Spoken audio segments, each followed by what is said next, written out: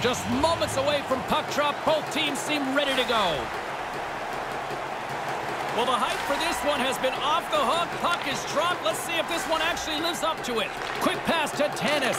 He scores! The captain leading by example! You want to use the player in front of the net as a screen if